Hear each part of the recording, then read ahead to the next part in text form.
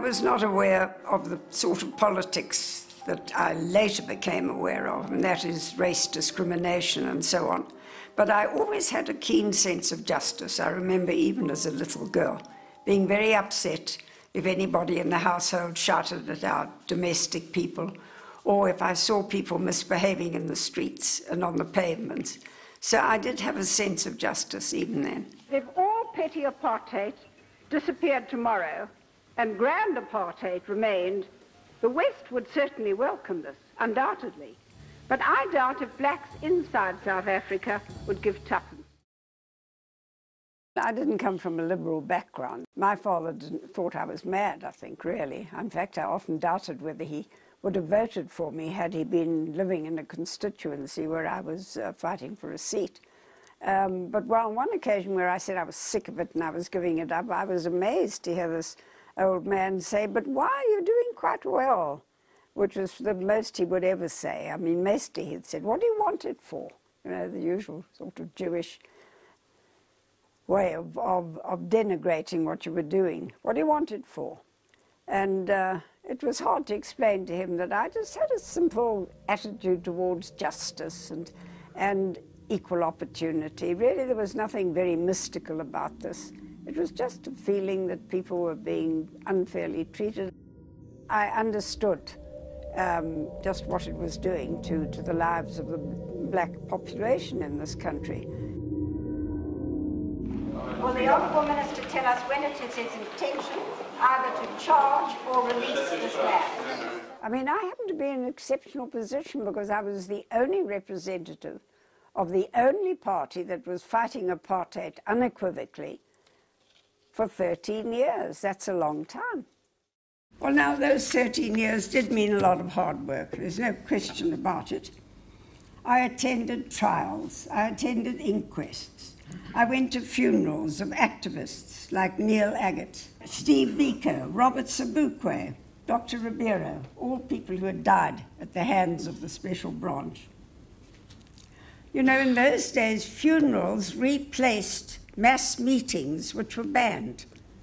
And it was there, listening to the speeches at funerals, that one could get an idea of the, the mood of the people and what was happening among the so-called masses. And I think we must make it clear to the government that these disastrous confrontations between the people of the townships, the police and the army must stop. The killings must stop. I'm not a person who bursts into tears at every sad story I hear, but I just get mad, furious. And I'm a doer, you know, I'd like to go out and see for myself, and I did. I did a lot of that.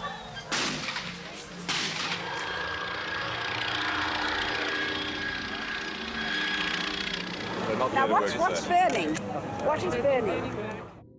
And I was able to expose a lot of things that were going on, which otherwise would never have got to the press because of various laws which uh, prevented them from reporting what was happening and the parliamentary platform was exempted from that law.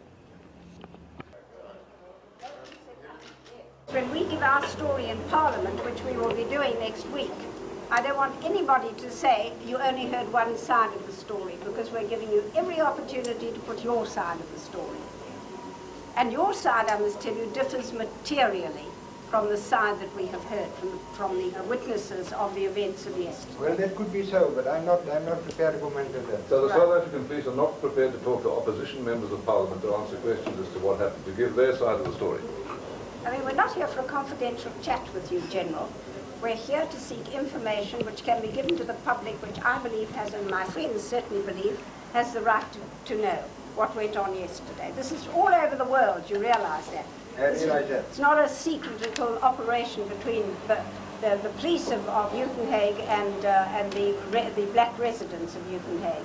This has now become a major disaster of world uh, proportions. That, that. Right, so we are giving you the opportunity of putting your point of view and your version of what happened.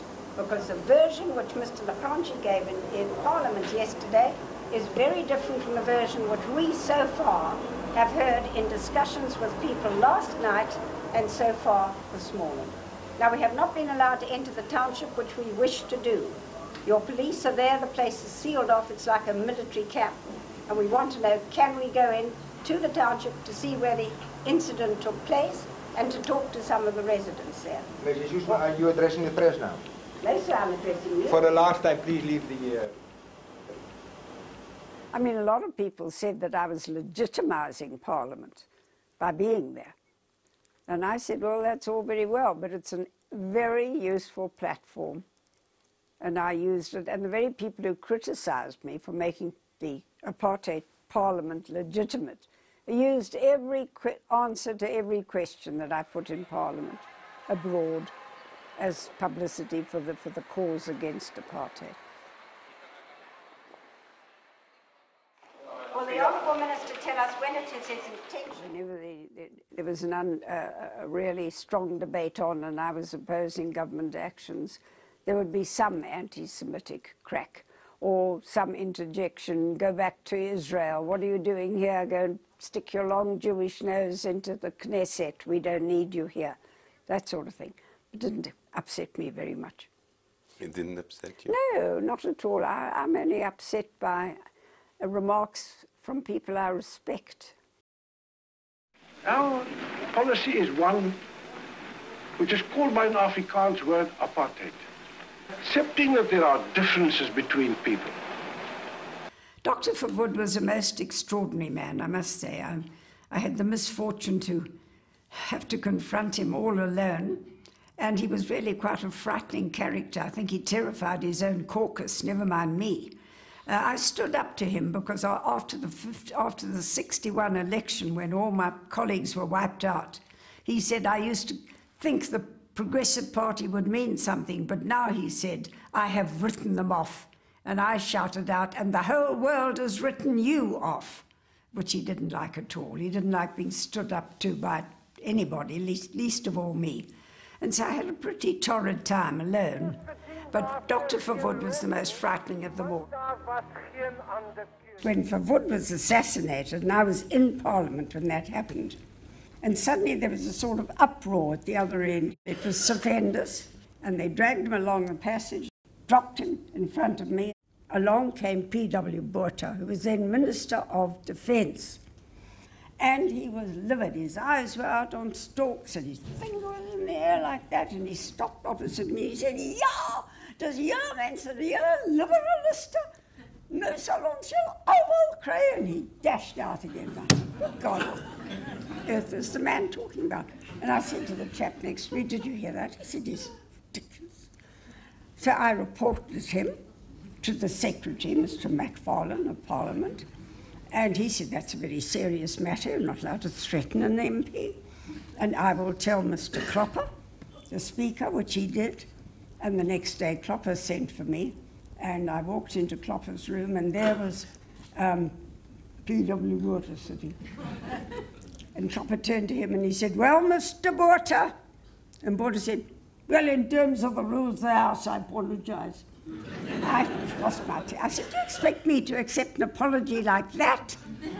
And he said, Take it or leave it. He, I accepted the very ungracious apology of P.W. Botha. I never spoke to him again. Never, ever.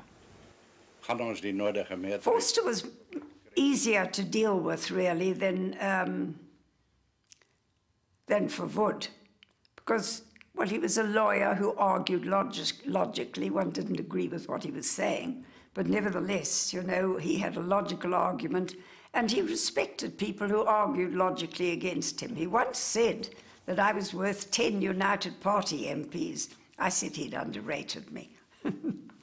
but I could go and visit him, as I often did, pleading the case of detainees and their families uh, when he was in Pretoria used, and even in Cape Town.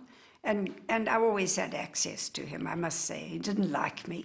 And we had no personal relationship like having a game of golf together, for instance. We were both keen golfers at that time.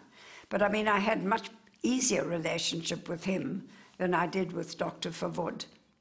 So, and with P.W. Botha. He was really my bête noire, such an irascible bully. You couldn't argue logically with P.W. Botha. is nou nie meer 'n debatspunt nie. Dit is 'n feit. De Klerk was, of course, much more of a gentleman, um, and he would never be, you know, rude or, or, or aggressive the way um, P.W. Botha was. And I got on fairly well with him. I always believe he's not been given sufficient recognition for the role he played in a peaceful negotiated settlement. I knew of Mandela from the Rivonia trial, um, and even the treason trial. Of course, he was one of, the, one of the accused in the treason trial, but I'd never met him. I first met him on Robben Island in 1967.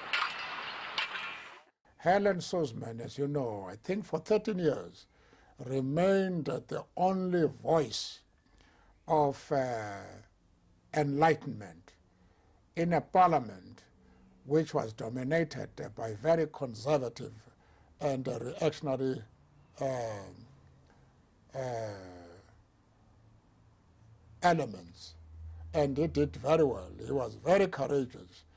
And uh, he condemned all forms of racism and oppression. And what was more was his regular visits to prisoners in jail. And um, so we have a lot of respect for Helen Suzman. He is my friend. I came out of Robben Island and I said to the press, that man's our last hope of a peaceful solution to our problems. And indeed, it proved to be so, but many years later, in 1990. I think South Africa is a better country than, than it was, undoubtedly, under apartheid. But it's essential to ensure that there are checks and balances to prevent abuses of power, I haven't changed that at all, and to thwart the ANC's announced intention, very dangerous, to control all the levers of power. You'll have seen that. In other words, you have to have an opposition to prevent a transition to a one party state. South Africa must not, in the words of John Milton, sink into a muddy pool of conformity. And I believe that the sweet birds must continue to sing loud and long.